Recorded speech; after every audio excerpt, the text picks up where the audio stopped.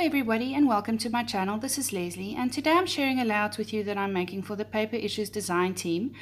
And the challenge is to use a rainbow in your layout and I have decided to use the Doodlebug Hello collection because of all the vibrant, bright, um, beautiful colors in this collection and I have already before I um, hit record I sorted out the two ephemera packs into their different colors. So there's a yellowy orange color and then the green, the light blue, dark blue, dark pink and light pink so that I could see which uh, um, uh, embellishments I could use um, in the rainbow that I would like to create on my page. Now I have a very specific idea of what I want to do.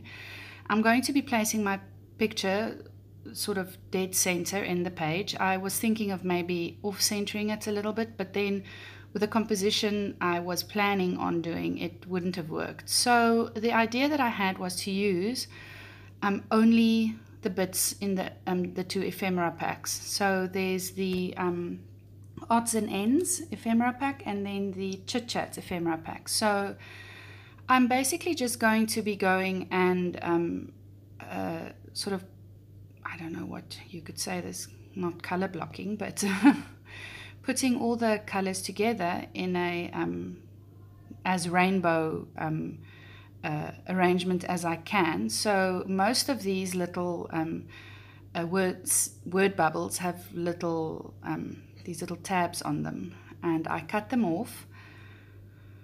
So I start off with the yellow and I just play around with some of the bits and then I go on to the green and the light blue is going to be sort of over the photo, you'll see what I'm planning on doing there. The dark blue is going to be at the bottom of the photo, um, and then obviously the dark pink and light pink will be below the photo.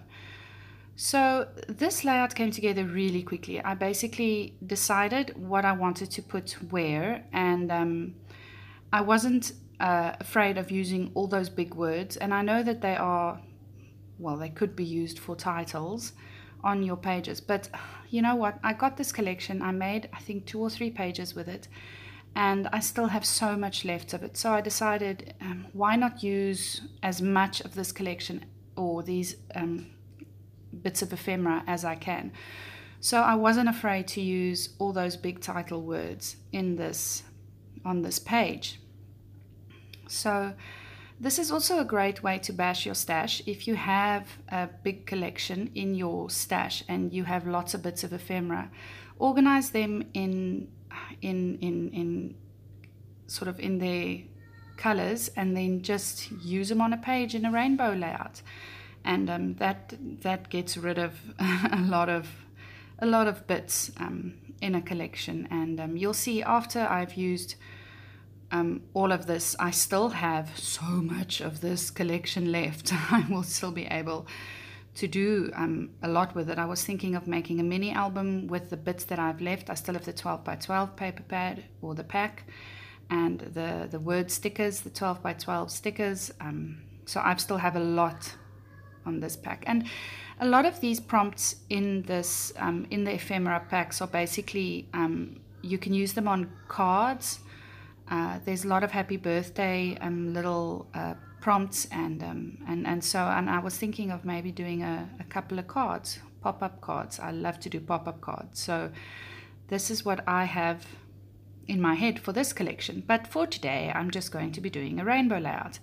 And I was thinking now, if I have all these large title pieces on my layout, what will my title be? I mean, you know. Happy, lovely, smile, me and you, and I'm going to put that big pink word, beautiful, um, below the me and you as well. So, what will be my title in, in the end? And then I just thought, well, it's me and the girls just sitting. I was um, sitting on the floor with Lucy between my legs. I she's still a bit wonky when she sits. She she sort of kicks back, so I still have to, you know, put her between my legs and um, just have her sit on the ground so that she can sort of learn how to sit. And then Emma decided to squeeze in between us, and um, we were just all three of us. Lucy was sitting in between Emma's legs, Emma was sitting in between mine, so we were just sitting on the floor. I think it was two days ago, and I decided, how about we take a selfie? And this turned out really cute. Lucy has her thumb in her mouth, and um, Emma's giving her beautiful smile. So um, I thought, well, this is of me and my goals, and I thought, okay, well, then I'm just going to choose the the the title "Me and You" um, for this for this um, layout. Now, you guys know I'm not very hot on titles. I don't always, it doesn't always occur to me to put a title on my page, and um, you know, if if if I do have a title on my page, it is very generic sometimes. Um, I don't feel I have to put a title on my page. Um, I know some scrapbookers say that it is one of the rules of scrapbooking, and and um, I also don't follow any like rules. Um, I just go with what my head feels right with at the moment, or at that moment I'm creating it. Um, you know, um, sort of if if you have to balance out your layout, or if you need to bring in some more pink on this side because there's pink on the other side, things like that. I go with my gut, and um, I don't always follow the rule of thirds. I don't um, always follow um, uh, the the rule that there has to be journaling. Even I, I don't journal on on my layouts.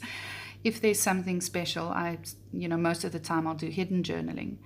And um, so for this layout, I think I make up for all those layouts I don't have any titles on. So this, this layout has all the titles. Maybe I should have called this layout all the things, all of it. so that's basically what my page is going to look like. I really like the arrangement and I thought I'd better take a photo of this with my iPad that was sitting in front of me. I watch Netflix most of the time I do this. So I have to take a photo because I'm not going to get it back the same way. Or if I do it, you know, I, I really like the way I arranged it there. So um, I did want to do something on the background. That's why I took a photo to, you know, to, to make sure that I've got. So I did some stitching.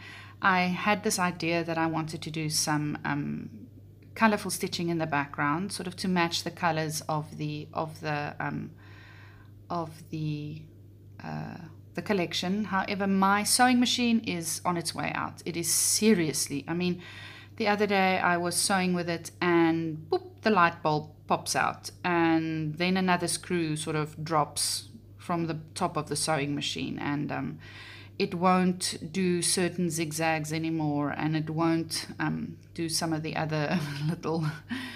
Um, patterns anymore that it does and it loses stitches and sometimes the bobbin doesn't catch the top thread and uh, yeah I think I think it's um I think it's on its way out. Um, you can see that um, some of those um, uh, big thread nests that I've got going on there I did on purpose and some of them I didn't do on purpose. It's just my sewing machine having a spaz. Now um, luckily my bobbin played along with me today but um, no, it. I think it is time for me to get a new sewing machine. I did buy it secondhand, so I'm sure that the lady that did have it before gave it a good run, and I've given it quite a good run. I've made quite a couple of memory quilts for my kids, and and and I've stitched quite a couple of school costumes, school things with it, and um, lots of paper layouts. So I think it is time to get a new one. Hopefully, I'll get one soon. So you'll see, I'm just placing the, um, the, the, the color on color embellishments. Sort of, I'm trying to match where I uh, sewed the specific color to put the, the, the, the color embellishments on top of that. So, and yeah, I it's very subtle in the back. Um, it does add a lot of texture. I love all the little loose, loose ends, the little threads at the end and um, you'll see that it, um, where I stick down a little flower, I'm going to try and make a little thread nest, uh, you know, below the flower or um, underneath the flower as I stick it down. Um, if there is thread in that area where I stick down the flower, in at least. So I'm going to try and sort of cluster the threads together just to give it a bit more order. And you'll see that I'm going to do that now with that little flower. I'm just going to sort of bunch up the threads and stick it on there and then it looks like the thread is making a little nest for the flower. Most of the prompts, I um, like those little word bubbles. I stick, I um, do a, uh, put some uh, foam adhesive, some dimensional adhesive on the back, just so that there's a little bit more dimension in the layout. My photo, I am going to be sticking down on some foam adhesive, and I do double adhesive. Um, I've had some experience lately where my foam dots dry out. Now, I'm not sure if it's just the climate that we are living in and it's just too hot and they dry out really soon, or if it's the quality of the foam squares that I'm using or the adhesive squares that I'm using, I'm not sure, but I am going to be double adhesiving, double gluing um, these these embellishments. So yeah, the rest of it's basically just sticking it down. I think all in all, this took literally like half an hour to put this layout together. The the the actual layout took me probably like five minutes, but that stitching, because my sewing machine kept on breaking the thread and losing the thread, I had to rethread my sewing machine probably about 50 times. Really, um, I'm not, you know, um, exaggerating. It, uh, and, and, and it took a lot of prayer from my side to keep calm and you know to not lose it completely and throw it out the window. So because every time i just start sewing oops the, th- the thread breaks and then i've got to rethread it and then it breaks and then yeah yeah yeah yeah yeah. Sometimes we are tested and I've been really praying about it and asking God to help me to have more patience. And then as soon as I started sewing, I'm like, ah, there you go. there you go. so this is to teach me to have more patience. so anyway, this layout um, uh, came together really quickly. However, I had to have a lot of patience with this with this layout. So I learned something as well with this layout. Um, you know, it's not necessarily the sewing machine's fault. It's nobody's fault. It's just the way it is at the moment. So I hope that sometimes when you guys go through a struggle as well, and when things aren't going your way in the day, and something, um, uh, to exercise patience and um, see, even my pen stopped working and all of that. But I think patience goes a long way, especially patience with our kids, hey? Anyway, I hope you like what you see, and if you like what you see, please like and subscribe, and I'll see you again soon. Bye.